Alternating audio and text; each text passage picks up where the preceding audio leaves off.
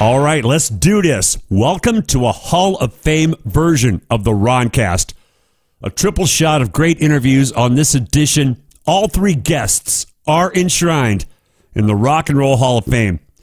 I've got a classic discussion with original Alice Cooper guitarist Michael Bruce, Def Leppard founder and frontman Joe Elliott, and I'm kicking it off with a recent discussion with guitarist for Def Leppard, Whitesnake, Dio, and his passion project, Last in Line, with some great bonus commentary from Vivian Campbell that you're only going to hear on the Roncast.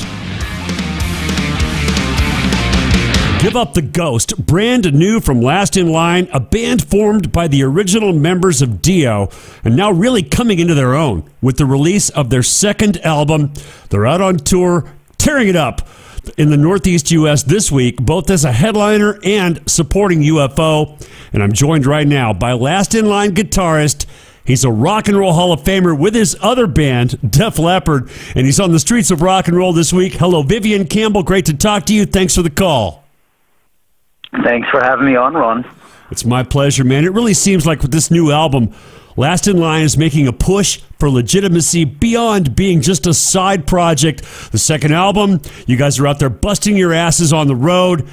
What does being in this band mean to you personally?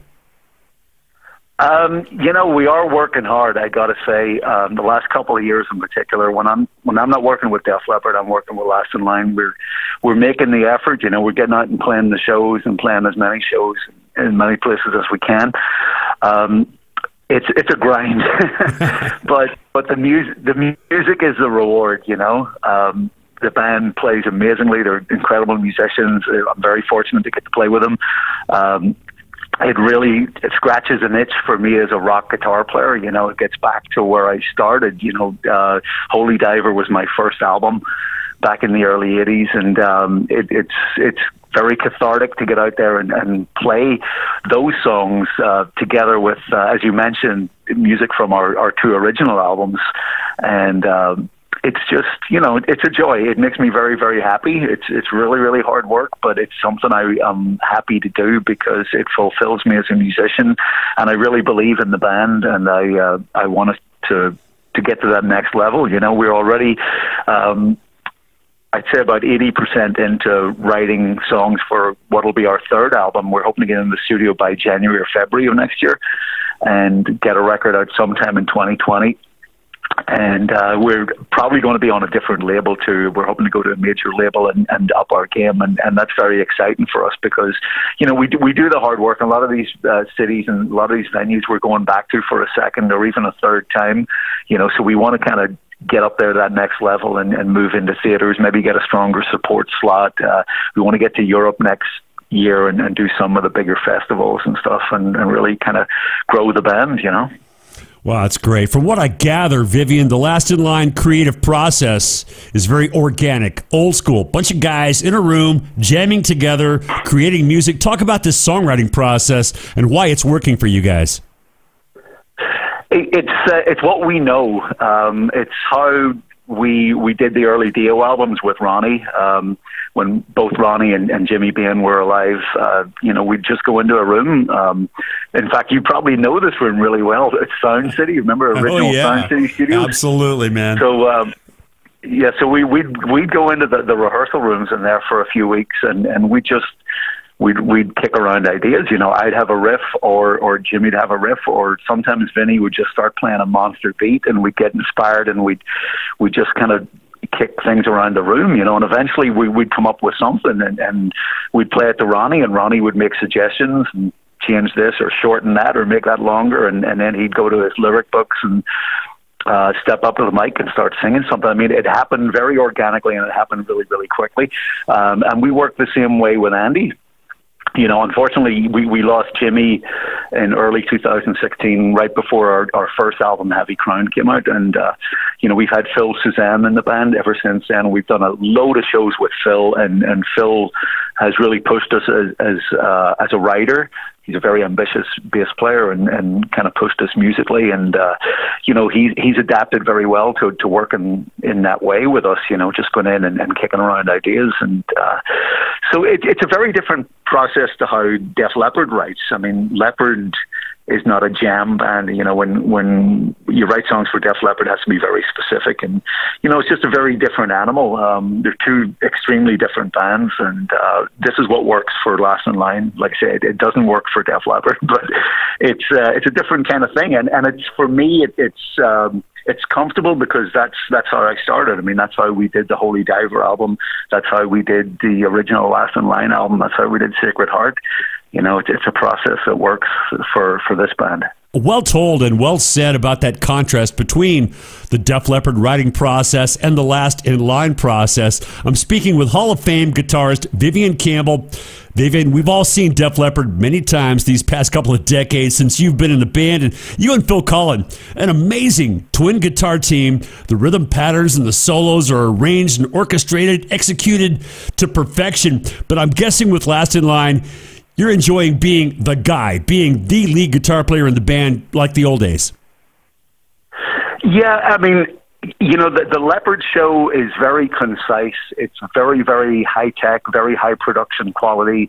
Um, there's zero improvisation going on in a Leppard show. I mean, it's very well executed and uh, machine-like, if you like. And our vocals are all live, and that's that's a real challenge for us to replicate Def Leppard records, yeah. you know, vocally in, in a live environment. And, and we take great pride in that, in the fact that we can do it and, and we do it very, very well. And, uh, you know, so th- that's something I've really come along as a singer you know, even prior to, to joining Leppard, I always wanted to sing. I remember even back with, with the original Dio band, I, I went to Ronnie and I said, Can I sing background vocals? And, and he shot down that idea really, really quick. He, he said, he said to me, he, he waved his finger in my face and he said, Singers sing, guitar players play guitar. He said, Tony Iommi never sang. He said, Tony Iommi never sang. Ritchie Blackmore never sang. You're not singing.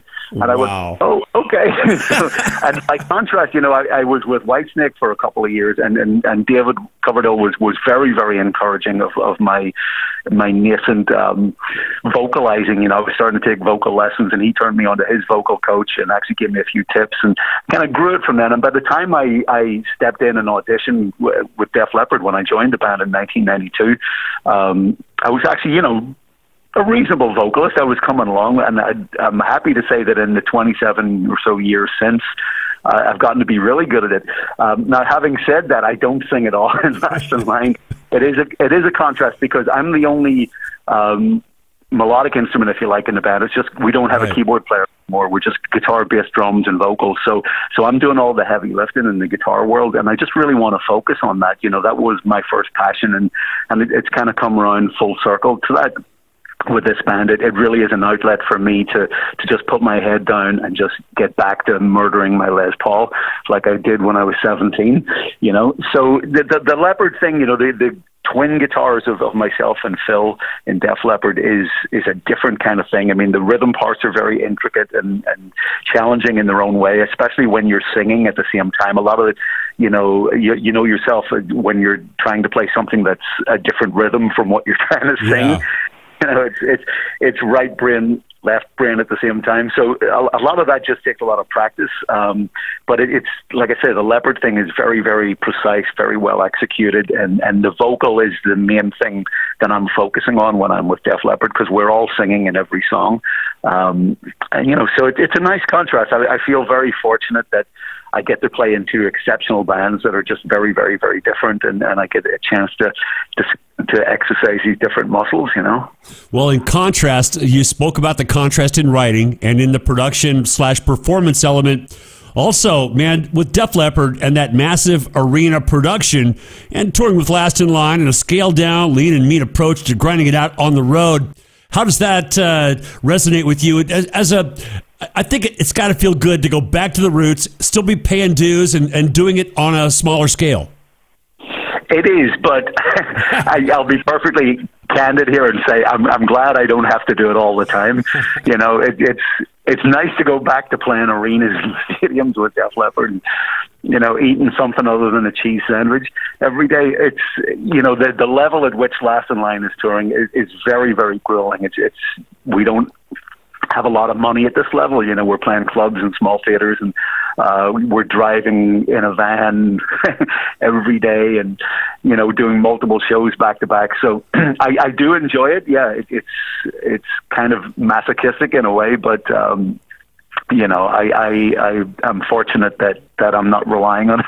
I get it, man. I get it. it. I'm, cer- I'm cer- certainly not doing it for the money. Put it that way, you know. But it, it there's there's a lot more to life than money, and um, I'm I'm very fortunate that that uh, my my career has treated me well, and and I'm in a position where I I can indulge doing this, you know. Um, and it is something I want to do. Like I said earlier, I really believe in this band and Last in Line, and and um, I'm encouraged, you know, to see it kind of grow over the years, and, and I'm really looking forward to, to 2020 and, and getting our third album out and, and actually, you know, stepping up the game and, and uh, expanding the reach of the band, you know, because it really, really is a, a great experience. I mean, to see live musicians play in real time is is a dying art in this day and age, and, and to see musicians of the caliber of of the guys in this band, you know, is is quite exceptional. I think, and it's, it's a very joyous communal experience for those that get to see us. You know. Well, your enthusiasm is infectious and your work ethic is relentless, man. Going from the Def Leppard gigs straight into Last in Line, how much has your battle with Hodgkin's lymphoma motivated you to keep the pedal down, so to speak, and live life and enjoy the music at this accelerated pace? Yeah, I mean that really definitely kind of set something off in me. You know, I've I've always been a, a glass half empty, sorry, sorry, half full kind of guy. You know, I mean, I always tried to look at the positive aspects of what life was giving me, um, and you know, when I got my cancer diagnosis back in 2013, you know, once you get over the initial shock of it, and you, you kind of just um, I think you have two choices when when life gives you something like that. You can either face it head on, or you can give into it and slowly start to pass away. You know, uh, I definitely have been fighting it the entire time. I refuse to, to capitulate to cancer in any way, shape, or form. Um, and it, it kind of it lit a bit of a fire under my ass. I'd say, you know, I, I kind of thought, okay, well, there's an expiration date here, yeah. so let's get yeah. on, you know. And I you know, I just I all I ever wanted to do in my life was be a guitar player in a rock band, and, and now I, I play in two exceptional bands, and I'm I'm happy to do as much as possible. Uh, having said that, the last couple of years have just been very, very, very intense for me schedule wise. So I, I will um, schedule a holiday sometime Good for, for you. I, I've learned the, the the importance of that. That you have to actually schedule some time off. Otherwise, you know, January rolls around. And I look at the calendar and I realize that every single week of the year I'm working. You know, so um, I'll take a holiday next year. You do so that, man. Well deserved. And on behalf of rockers everywhere, we're extremely thankful for your health and your massive contribution to modern hard rock music. Find them online at lastinlineofficial.com. My very special guest this week, Rock and Roll Hall of Famer Vivian Campbell, wishing you all the best in life and music. Thanks for coming on the show. Have a great gig tonight. Appreciate it, Ron. Thank you very much. Okay, Viv, a couple of extra questions for the podcast version, if you don't mind, if you have a minute. Yeah, sure. All right. Vivian Campbell on the Roncast. Couple of uh, off center questions. Viv, how do you feel about cell phones in the air at every show that we do? Uh, it's it's really annoying. I gotta say. Um, you know, I, I just I don't understand it. You know, I, I don't understand why people don't want to experience and be in the moment. I mean, that's that's what life is really about. Is about uh, appreciating the the moment that you have, you know, with with people, with other people, with community, with family, with friends, uh, with live music. You know, real musicians playing real music in a room in real time. That's that's a great, joyous, communal experience. Um, I understand that people want something to post on social media or some sort of memento from it, but by by watching this show through your cell phone, it just doesn't make a lot of sense to me. And like when you listen back to it the next day, it's going to sound like shite. So I, I don't get it, you know. Um, and uh, also, you know, the whole social media thing, I, I think, can be very, very intrusive. I mean, I, I find people taking cell phone videos of us all the time, even when we're trying to, you know, scratch our bum or do something. Yeah. you know, it's just I, I, I appreciate uh, human interaction. I also appreciate a little bit of civility and a little bit of privacy. So I'm not a fan of it. I agree and totally concur, man. I I don't understand why it, it it annoys the performers and it annoys everybody else in the audience except the one guy who's who's doing it uh, and posting the video next the next day on YouTube. Uh, another question for you, Vivian: athletes, actors, and musicians making political statements. Where do you stand on that? Um, yeah, that's this is a tricky one. Um, I, I think everyone is entitled to an opinion, um, but unfortunately, I think we live in very polarizing times. Yeah. So, uh, I I personally, I mean, like I had a personal Facebook page that I, I haven't been on for a few years because I did express, you know, um, opinions beyond music uh, because it was a personal page, and you know, the the the blowback was just brutal and intense. I think you know there's a lot of uh, civility and, and human interaction and discourse uh, has has gone in the gutter. You know, thanks to people communicating in, in these very indirect ways through social media. Um, I think we're getting pulled into uh, a time when people have to make that hard choice. Um, you know, even corporations, like even look what's happening with the, the NBA and China at the moment. Yeah. Know, because uh, you know, so does the NBA and and the huge corporations like Nike that that make a fortune with with uh, concurrent with the NBA. I mean, do they take a political stand on this? Uh, I think it's important. Yeah. Um, I think you kind of have to. I think people are starting to vote their politics with their pocketbooks. You know, like uh, you know issues like gun control and um, and you know gender association and equal equal rights for people. You know, I think some corporations are are defining themselves by by getting involved in politics. It, it's a very very complex issue, and uh, I don't think there's an easy answer to it. And I, I think um, it, it's it's a very dangerous time for any sort of a celebrity, be you an actor or athlete or musician, to to to draw a line in the sand on that. You know, um, with with Def Leppard, you know, one thing that that uh, Joe said to me when I joined the band many, many years ago, um, and this was way before the, the current political climate. You know, he said that Def Leppard has always been about escapism. He says we don't write political songs. You know, we don't um, proselytize. We don't preach to people. We we want to offer escapism. You know, like um, like a Spielberg movie. You know, just just kind of like where people can lose themselves in something and get away from all of that real world stuff. And so I, I do think there's a lot to be said for that you know, and Def Leppard as a band, you know, we are very much apolitical. We just offer entertainment, you know, but as individuals, you know, when we're back in the dressing room, we all have political views and, and we all have moral stances on things, but it, it's, it's a very, very dangerous thing to, to, to use your, um, your your pulpit, if you like, you know, to use your your your stature in the world to to try and tell other people how to live. Um, but ultimately, I think you know, as as people, we'll all get through this. I just think we're in a very, very ugly time at the moment. Where where uh, I think our leadership in in a lot of the world, not just in this country, has has kind of brought us into the gutter and is trying to exploit the differences that we have. But I think that as as human beings, we all have a lot more in common than we have that separating us. You know, I mean, everyone has family, everyone bleeds red. You know, regardless of the color of your skin, everyone just wants to be safe and secure and loved. And I think you know, as people, we need to learn how to communicate better. And, and as a musician, um, you know, I I don't want to preach. I, I just want to play guitar, and then hopefully music will help heal. I find music to be very cathartic um, especially in times of stress. And, and so I'll do what I can as a musician to bring people together and, and try and um, hopefully help people realize that, that, that love is a, a, a stronger emotion than hatred. Excellent commentary. Thank you so much for sharing that with us. Vivian Campbell on the Roncast and on the streets of rock and roll. Best of luck in life, love, and music, my friend. And uh, I hope to talk to you again very soon. Thank you, Ron. It's been a pleasure. My pleasure. Well. Thank you, Vivian. Goodbye, bye. Fight Like a Band. The new album from Ron Keel Band has hit the streets.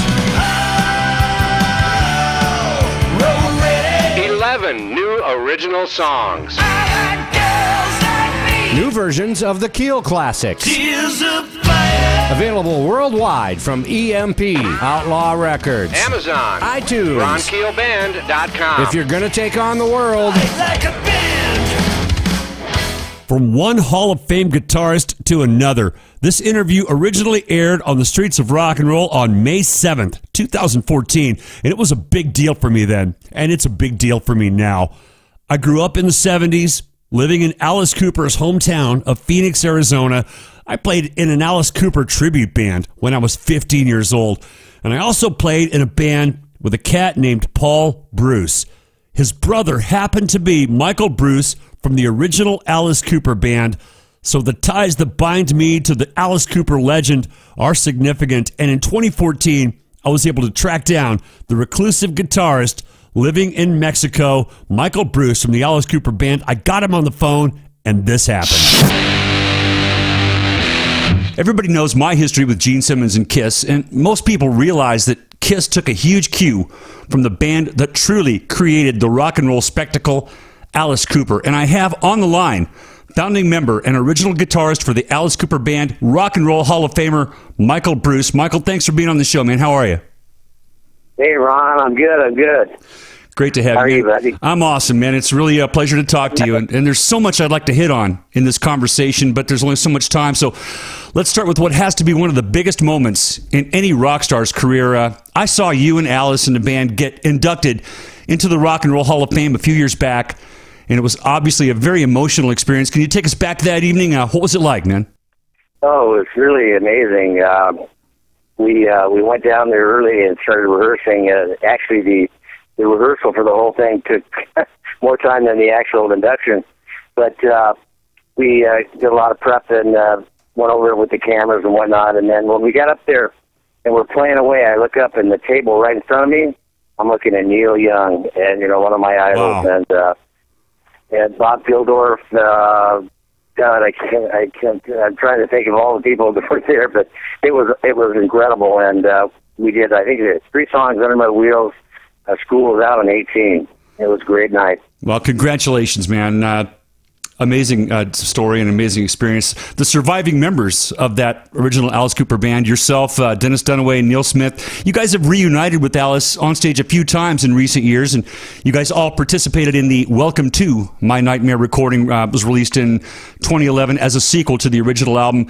Did it kind of feel like you were picking up where you left off? And how would you characterize your relationship with Alice today? Uh, we're, we we speak, you know, everything's good. You know, uh, I'm the man behind the snake, and uh, he lets me carry his golf clubs once in a while. But uh, just kidding. Right Uh, but, Good uh, quote, man. Whenever, whenever he needs quality and uh, uh, and fine musicianship, he calls Neal and Dennis and myself. That's awesome. Yeah, well, in doing some research for the interview, I, I went back and revisited those YouTube clips. It looks like you're having a blast whenever you're playing. Uh, so uh, I, I was really happy to see that stuff. You know, a new this new documentary film called Super Duper Alice Cooper. It's just been released and it's making a lot of noise, selling out really all over the country. I haven't seen the film, but I did read somewhere that Dennis and Neal were both interviewed for the movie. Did they speak to you as well? Uh, no, they didn't. Uh, I live down in uh, San Carlos, Mexico, and I'm pretty hard to get a hold of. Uh, they may have tried to reach me. I don't know. But, you know, I, I look at it this way. I've done enough interviews, uh, and uh, I, Neal Dennis speak for me anytime.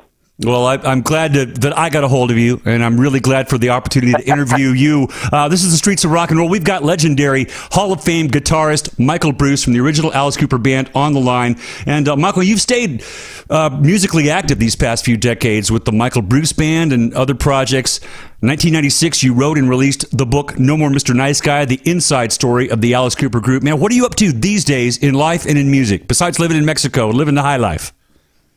Well, uh, I actually have been working with uh, Billy James, who uh, he was uh, helped me get out the first More Mr. Nice Guy, publish that, and uh, we're thinking about rele- releasing a updated version of No More Mr. Nice Guy, the book, and then I, I think I've got uh, one more CD left in me at least, and uh, I'm going to try to get that out this fall.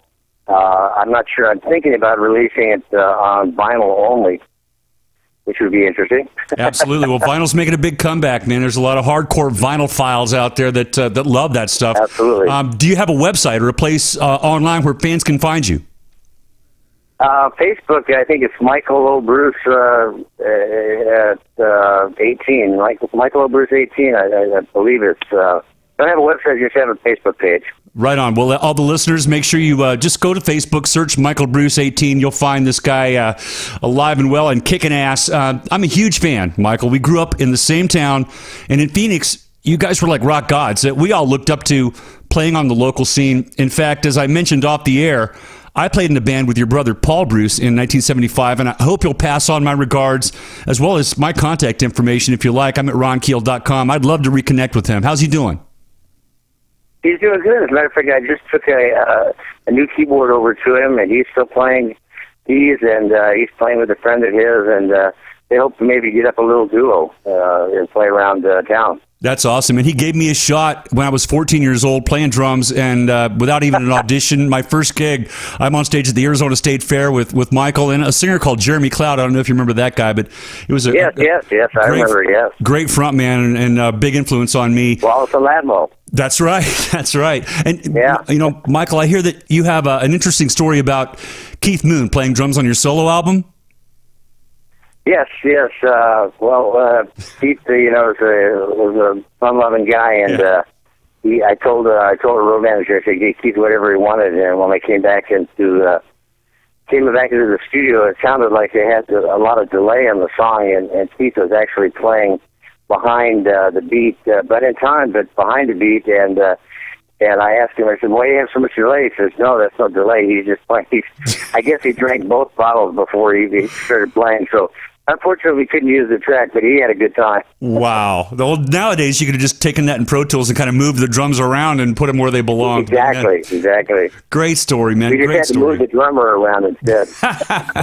Wow, awesome, man! I, I can't thank you enough for your time, and uh, want to thank thank you for uh, all the great music through the years and for being an influence on guys like me and an entire generation of rock and rollers, man. Rock and Roll Hall of Well, Famer. thank you, Ron. Thank you, buddy. Michael Bruce from the Alice Cooper Band, Rock and Roll Hall of Famer. Best wishes. Thanks so much for coming on the program, buddy. We'll Rules out forever.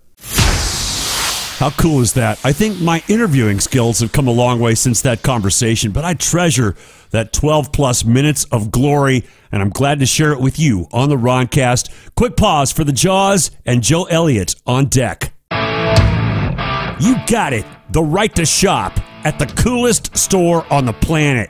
Specializing in all things 80s and 90s. Retroactive in Myrtle Beach, South Carolina is celebrating their 15th anniversary this summer, and I'll be there on Saturday, July 18th to help mark this epic occasion. Movies, music, memorabilia, and more. Retroactive has it all, and I can't wait to rock out and shop hard. I'll be there for photos, autographs, I'll play some music, sing some tunes, basically shop all night and party all day.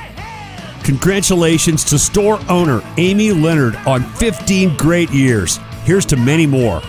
Go online at shopretroactive.com. I'll see you in Myrtle Beach at Retroactive on Saturday, July 18th.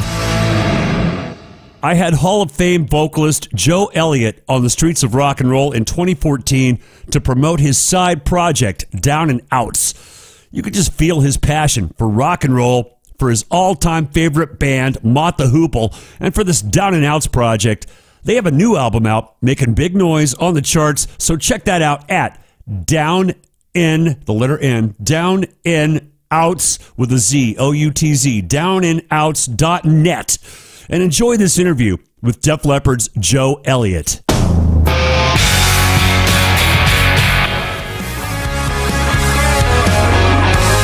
Rock and roll queen from a band called Down N Outz. That's Outs with a Z. You may recognize that voice. He sold over 100 million albums as the frontman for Def Leppard. Joe Elliott, welcome to the streets of rock and roll, man. Hey, how are you? Great seeing you in Nashville a couple of weeks ago, and uh, great to have you on the show. I know you're extremely busy this summer, so we appreciate you taking the time. No problem at all. We're actually on a five-day break at the moment, so it's nice to be able to just uh, kick back and do a bit of talking as opposed to screaming my head off all night. You know. That's great, man. Well, it's, it's nice to have you on the show to talk the rock. Uh, we will talk some Def Leppard. That's the mothership for you. But I know we're both excited to talk about your other project, Down N Outz. A couple of months back, you guys released your third installment, The Further Adventures of. We just heard the first single, Rock and Roll Queen. The new single, One of the Boys, hit this week. There's a special inspiration behind this band. Tell us what Down N Outz is all about. Well, down and out was it's an accident. Actually, it was a complete. It wasn't one of those things where I said, you know, I just woke up one day and decided to start another band. Mott the Hoople were just my thing as a kid. You know, most of us, and, and in fairness, I love them too. But most of us, it's always the Beatles, the Stones, or Zeppelin, or something like that, Sabbath, or whatever. If you're a Brit, you know. But for me, Mott were just the thing that I don't know what it was. The underdog in me, like in this band that kind of, it was really always on the uphill struggle, and then they had this hit that Bowie gave them with all the young dudes. They were just my band, and I've been their cultural ambassador for best part of 30 odd years. And they decided to reform in 2009 for a series of five shows in London at the legendary Hammersmith Odeon. And um, I got the call. They, they all, I've met them all over the years. They all know. And they all said, look, you know, just as a thanks, we want you involved. Um, open for us on the last night. I'm like, well, what, how? You know, I mean, I can't get Leppard to do it. That's just they'll just be unbalanced. And so uh, the promoter guy said, well, I also look after the Quireboys. And they'd be well up for doing it. So they volunteered their services to be the band. And uh, even Spike, I got the, the singer, I got him up to do one song and I moved over on the piano. And so I said, okay, well, this is what we're going to do. What do I want to see us do if I'm a Mott the Hoople fan sitting in the front row? I thought, you know what? When they split in 74, the the band got a new singer in, abbreviated the name to Mott, made two albums. They they morphed into a band called British Lions and made two albums, and all the while Ian Hunter was doing solo stuff. I'm going to cherry pick some of my favourite Splinter stuff that they did after they split, and that's what we did. And it was a 45 minute one off performance, which I thought, because it was a one off, I'm going to have this DVD, I'm going to film this, and, and just for prosperity, if nothing else. And um, so we did the show, went great, kids loved it. Um, so much so, the 30 minutes interval, we went to the public bar and pretty much got like pinned to the wall by all these kids going, You've got to record this stuff. You know, I can't believe what I've heard. I didn't think I'd ever hear these songs live again, you know, because they hadn't been played live since, what, 76, 77? Yeah. And the, the songs never get played on the radio. So essentially, to anybody who wasn't there at the time, these are new songs. And we, uh, I just said to the guys, I said, well, look, you know, it's it, it's fresh in the DNA right now. Do you want to go in and record them? And they went, yeah, we've got a couple of weeks off. Let's go and do it. You know. So we made the, we basically recorded the, the, the ten songs that we played live, and that was the essence of the first album. I did a couple of instrument uh, acoustic things to just to throw in and uh, vary up a bit. Um, but essentially, it was just a case of going and doing the songs the way we did them live, and that was the first album. But you know, we put it out thinking, well, okay, that 300 kids that cared will buy it, and that's all that's going to happen. But no, you know, that we, England Rocks started getting a lot of traction on American air uh, uh, radio stations and, and hit top five on the Mediabase rock chart, and then Overnight Angels, lo and behold, hit number one, keeping Clapton off the top. These are all the facts that I'm being given by my girl, you know, and it's like, really?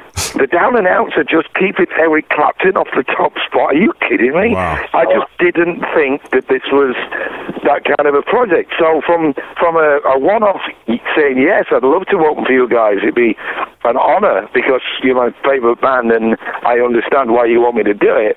It's gone on to becoming now a legitimate band. You know, we've we were second on the bill on the inaugural uh, High Voltage Festival in London in 2010 in front of what 35,000. We opened for Paul Rodgers on a on a tour of Britain uh, three years ago. We've got a British tour in December, uh, headline, headlining on our own. I'd love to do some shows in the States one day when I get a chance. We'd love that too, man. And we've got the new single out today. You know, one of the boys is, is out this week. The video hit yesterday. and uh, it's like you know, it's just an extension of me more than anything else. But it's a fun one. It's not. It's a labour of love, but it's not really labour. You know, it's like this is easy for me. It's like a lot of it people seems like you're having a spend a lot of blast. time mountaineering and stuff. Well, that's hard work as far as I'm concerned.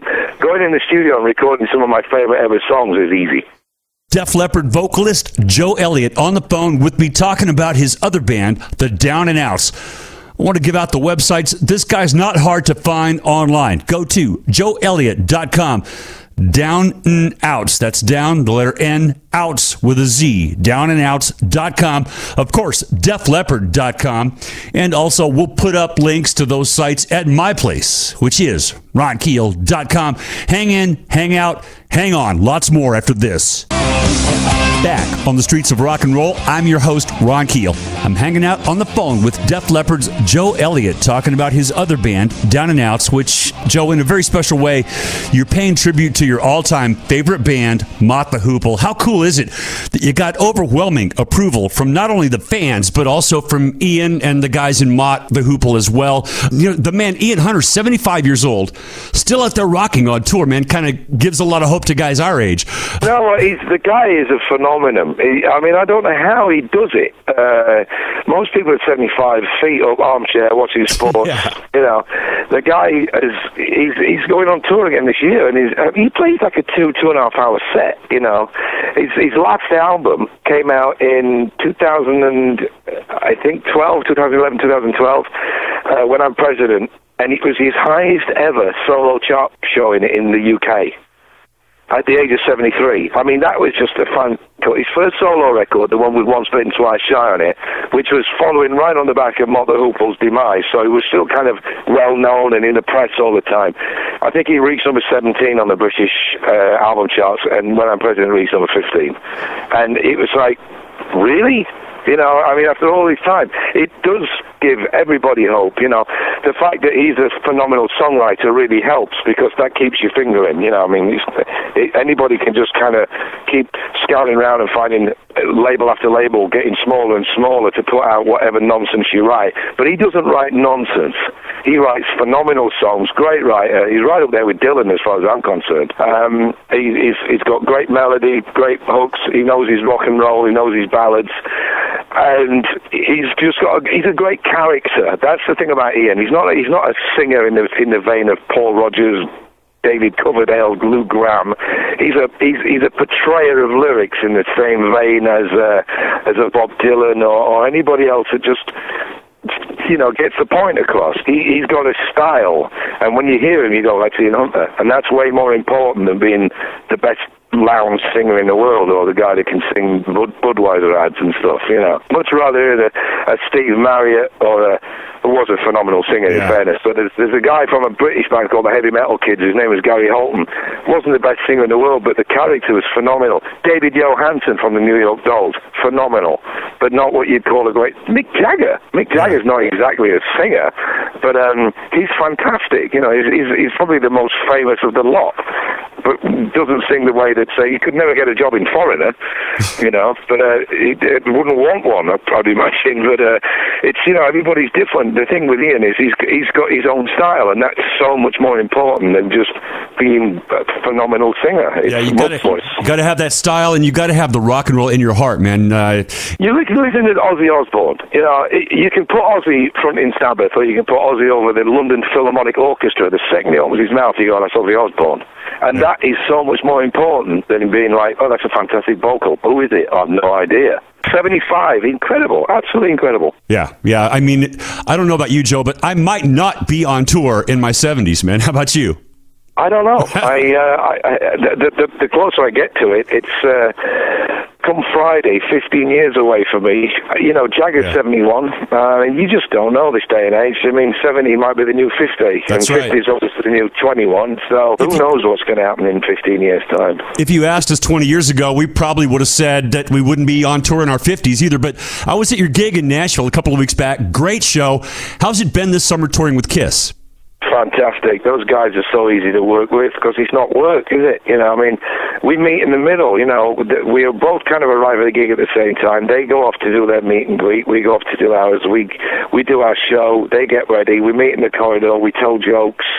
We, you know, we've travelled together uh, on occasions. Um, we've we've we haven't sat down for a meal yet. We're hoping to get something going, like a barbecue or something, Yeah. sometime on, on this second part of this the, the tour.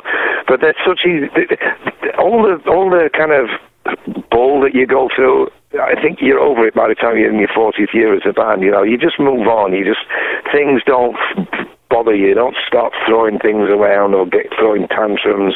Things go wrong. You just deal with them because it won't be the first time sound, and it'll not be the last. But these guys don't have an agenda. We don't have an agenda. We're 35 years in. They're 40 years in. You know, and it's a case of like there's just massive amount of respect from both bands towards each each other. Um, so it's easy, you know, and, and it, musically it's a great contrast because there's a similarity, but there's also a vast difference. Um, and that kind of juxtaposition somewhere in the middle is what's bringing in two lots of different fans. You know, I mean, there's a lot of Kiss fans that come, not necessarily familiar or even not bothered about us, and vice versa. But somewhere along the line, you kind of you you you you win some of them over. You just do, you know. We've won some Kiss fans over, and now I said they've won some Leppard fans over. But there's a huge big chunk in the middle that like both. And that's why there's so many people coming. It's a, it's that classic cliche of one and one makes three. You know, it's not great math, but it's, uh, it's great rock and roll. Let, us get back to the music for a minute or, or five. This is the Power Ballad segment brought to you by Brunner's Metalwear, handcrafted metal and leather bracelets and cuffs. One of my new sponsors. You've got to check this stuff out at brunnersmetalwear.com. That's two N's, B R U N N E R S, brunnersmetalwear.com. Beautiful wristwear for rockers. Our power ballad of the week, one of my favorite Def Leppard recordings. It was a bonus track from the 1995 Greatest Hits collection, Vault, When Love and Hate Collide on the Streets of Rock and Roll.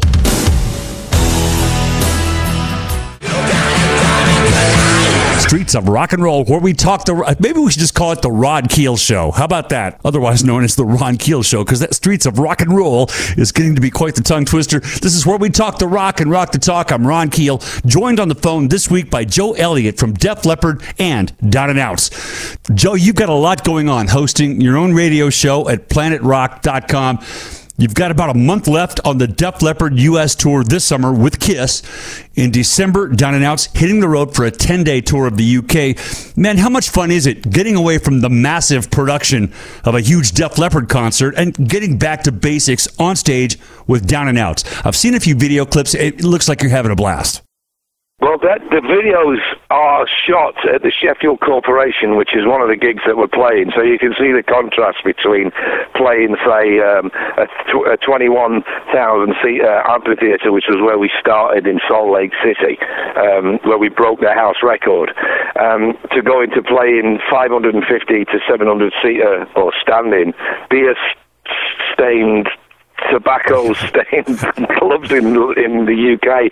The contrast couldn't be more different, you know, but the fun is going to be incredible because I have no problem getting down and dirty. To me, people think, oh, you know, you fancy flying around in private jets and all this kind of stuff. I'm like, no, we're going to be in a splitter van with the gear, 12 people, band and crew, you know, um, and playing these crappy little clubs. And I'm really, it's like going camping for me. I'm just really looking forward to it. It's 10 days. I'm doing the honourable thing, which is promoting the record properly. I'd love to get the opportunity to do it in the States one day, but the problem is that both the Quireboys and the Def Leppard are our day jobs, and they are extremely uh, they take a lot of time. You know, the Quireboys are about to hit the States for a six-week tour. In fact, they're here in a couple of days' time.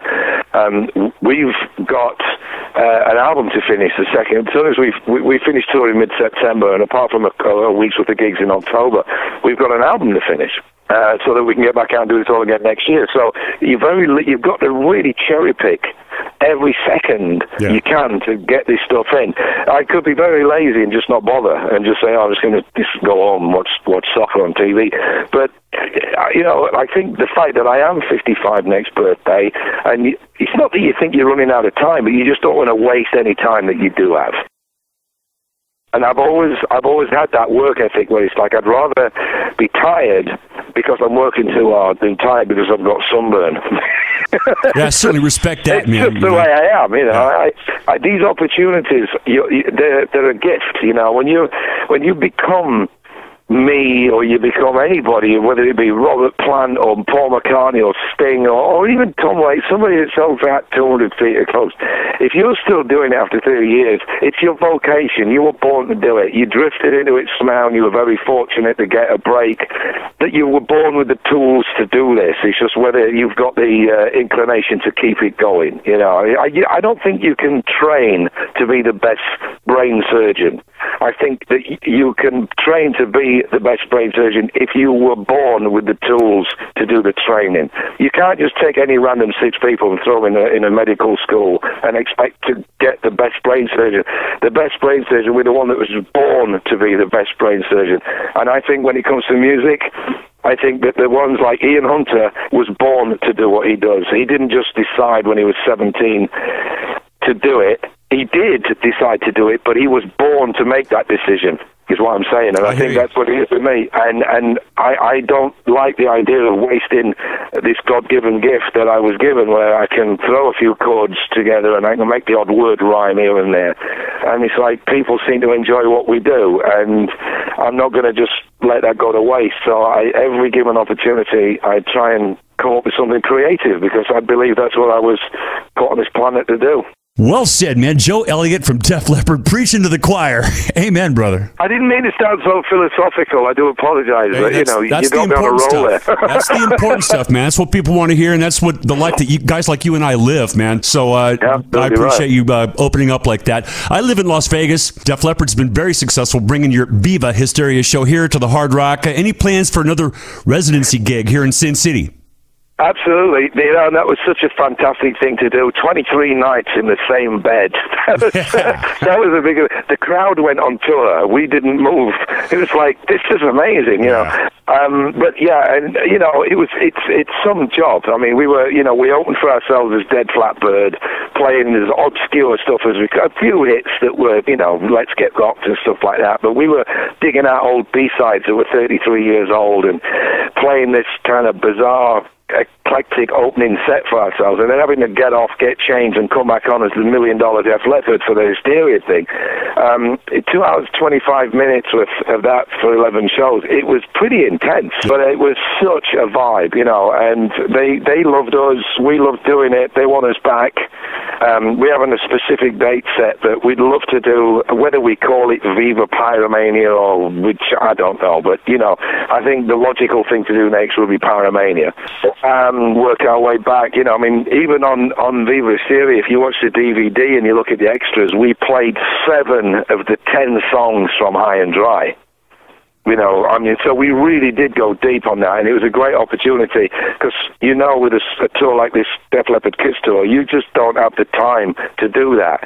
You know, we're we're both having a really cramming hits, and there's not really much much room for. uh, I, I I don't want to call it fluff, but you know, Yeah, kind of yeah. the hardcore fans that want to say, man, have you ever played anything like off on through the night?" We go, "Yeah, we have, but we can't do it on this tour. There isn't time."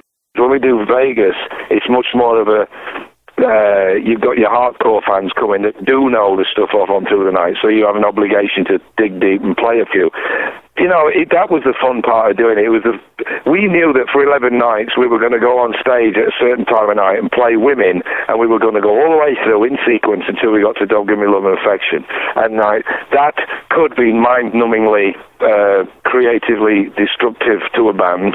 Yeah. so the, the, the, the, counterpoint to that is like the 45 minutes where we own for ourselves would be different every night, and it was. We did, never played the same set twice. We were bringing all sorts of mad songs in and out of the set, and it didn't seem to upset the balance of what we were doing because there were so many people there that were going, "Oh my God," you know. But the, the, the, the one thing that did throw people was we do have this kind of joke within the band that there's there's one guy that lives with his mom in the basement, and he's criticizes your set list having never been to one of your gigs. You know, the internet crowd, and we I thought, okay, yeah, let's see. We call him Dorito Boy. Um, you know, as, a generic name uh, because he sits there eating them all day long and telling his mom to shut up. You know, and we played a song called Good Morning Freedom, which was a B-side of our first single in 1980. And when it went up on YouTube about four hours later, whoever posted it didn't even know what it was called. And we just punched the air and went, we win. You know, we've gone so deep, you don't even know this one. So don't ever accuse us of just playing Paul to Sugar Me 40 times a night, because we don't do that. On this Kiss tour, it's hard to go mega deep, but even then, we're playing three songs off High and Dry on this tour, you know. Um, we uh, we're trying to vary it up as much as we can. But the Vegas thing really gives you the opportunity to to play things that you don't normally play, and we are looking forward to going back there. It it, it was a good relationship with the Hard Rock. Um, the people that run it like what we did. We like being there, so it kind of makes no sense not to do it again. That's good news for Vegas, good news for rock fans here and everywhere. Let's bring it back full circle with your other band, Down N Outz, paying homage to Ian Hunter, Mott the Hoople, and related projects. There's a lot of great rock and roll like this, Joe, that you and I grew up with that's in danger of falling through the cracks in this digital age. So, uh, way to go keeping some of that music alive with Down N Outz. Well, I appreciate that, Ron. You know, I mean, we can only do our own little bit. You can't keep everything alive. But I just chose my chosen charity, if you like, which is Mott the Hoople. But um, I'm enjoying it, and people seem to be digging it. So long may it last, you know. You got a new single just out, killer version of a really cool song called One of the Boys. Time for us to get to that. Thanks again for coming on the show. Safe travels. Joe Elliott on the streets of rock and roll. Thanks, Ron. The trifecta of Hall of Fame interviews Vivian Campbell, Michael Bruce, and Joe Elliott. Howard Leese, you're next, dude. Thanks for listening, everyone. Let's do this again very soon.